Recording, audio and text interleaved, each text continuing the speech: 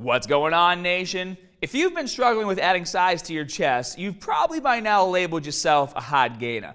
Personally, though, I hate this title because to me it comes across more as an excuse to give up on finding the real reason why you aren't seeing muscle gains. I mean, at the end of the day, it really isn't that hard to build muscle. Eat right, train hard, hydrate, and sleep.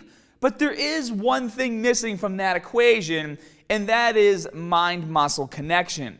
You might be hitting every chest exercise in your program as hard as you can, but you may not be getting enough muscle fiber activation to spark a lot of muscle growth. So, since conventional training isn't enough, we'll have to think outside the box and come up with a way to force muscle growth, and that's using a method I call the stretch flex overload.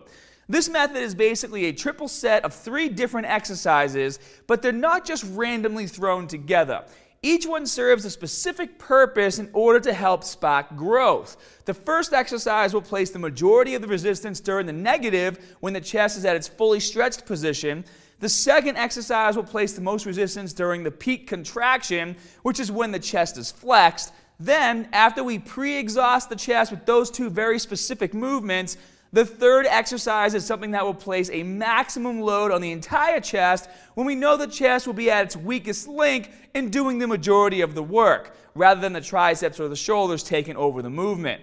So, in a nutshell, the first two exercises will help establish a stronger mind muscle connection, and the third one will destroy the chest using as much weight as possible. So, for this workout, you guys are going to be using the following three exercises. The first exercise is going to be the dumbbell fly for the stretch. The second exercise is going to be the plate press for the flex, and you'll be using two smaller plates instead of one big one, and you'll be pressing them together. And the third exercise can be a chest dip or a dumbbell press for the overload. I also recommend using a spotter if possible for these exercises so you can really push yourselves to the limit.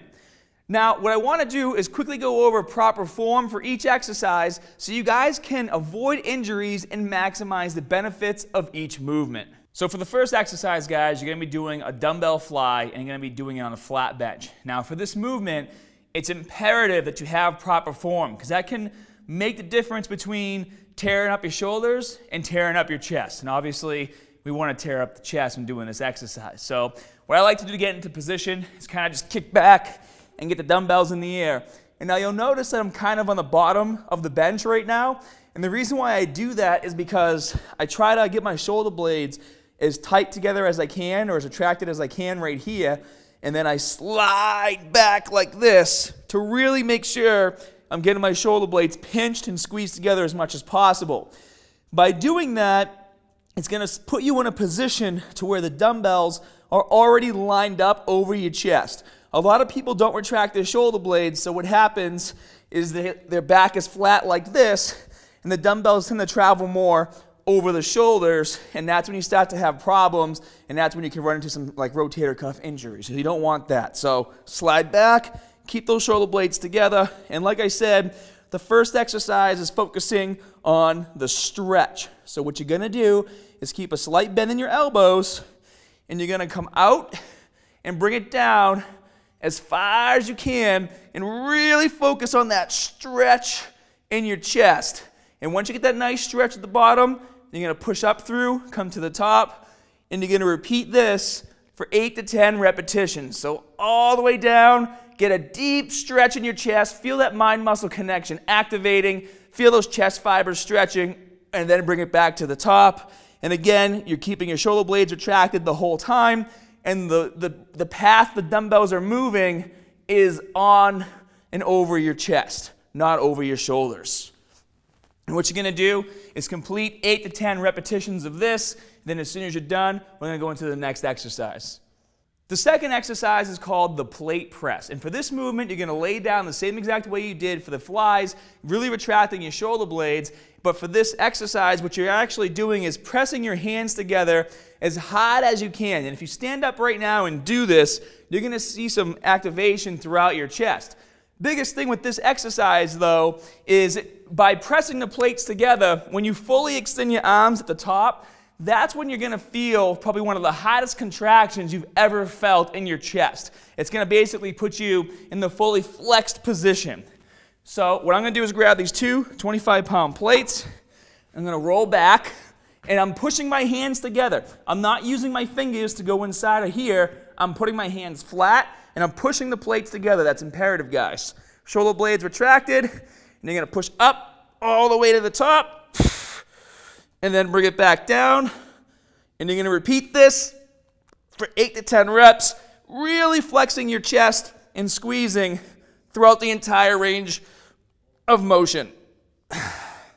Now, I do understand that some of you guys might not be strong enough to use two plates like I'm using, or maybe you're using the 10 pound plates and you want to go a little heavier, but they don't have 15s that you can squeeze together or 20s.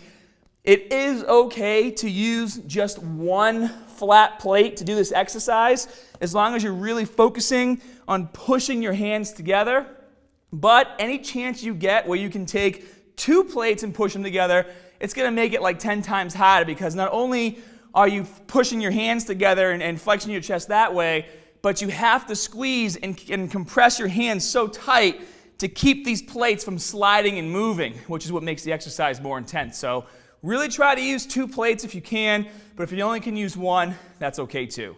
And the final exercise, guys, is going to be a dumbbell chest press, or if you want to, you can do chest dips. And I'll demonstrate form for both. Now, it should go without saying that you're probably going to have to use a little bit lighter weight doing the dumbbell chest press as the third exercise in this tri-set. So don't get discouraged if you use the dumbbell press in like 80s and you have to drop down to like 60s. It should be obvious why.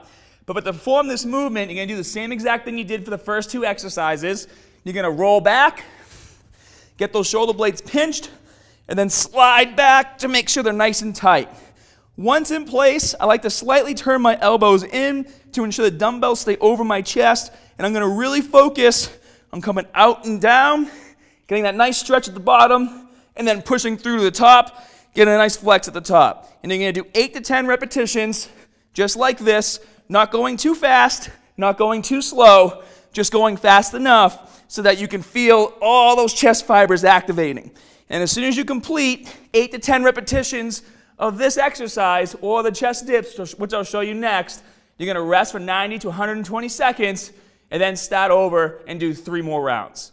All right, so the last exercise I want to show you guys is a chest dip, and this is an alternate for the dumbbell press. And the way you perform this movement is very different than if you're doing it for triceps. I actually have a video that goes over in detail the differences between dips for chest and dips for triceps, and I'll link to that down in the info section below. But to give you guys an idea what you're supposed to do, you're going to go to the dip station, and then instead of going straight down and straight up and keeping your chest up when performing the movement, you're actually going to basically almost kind of lean over and bend over forward as you do the reps. So, for example, you're going to get yourself up in a top position like this, and then you're going to lean forward and go down as low as you can, and then push yourself back up.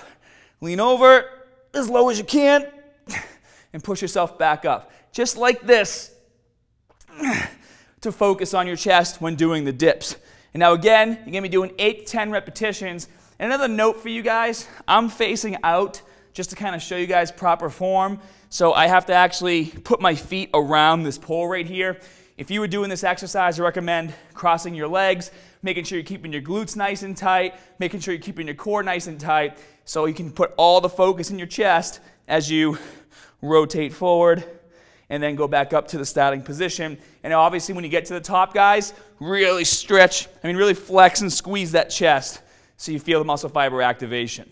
Now that you guys have a clear understanding of proper form for each movement, for your next chest workout, you're going to perform four rounds of this tri-set with only 90 to 120 seconds rest between rounds for a total of a 15 to 20 minute workout. Remember, guys, because this is a tri-set, there is no rest between exercises, only rounds. Then make sure you're performing this workout two to three times a week max to ensure you're breaking down and rebuilding the chest throughout the entire week.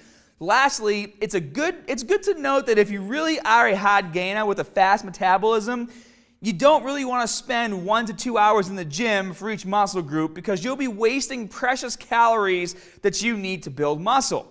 So, the idea behind this workout is to find a way to absolutely destroy your chest as fast as possible and get the most growth out of that workout. I hope you guys enjoyed the video, and I know if you take this routine seriously, you'll definitely see some growth in your chest in just a few weeks. And if you'd like me to create quick routines like this for other muscle groups you're having a hard time with, smash that like button and leave your suggestions down in the comment section below. Click that notification bell so you never miss a new video upload. And as always, more good stuff coming soon. See you guys.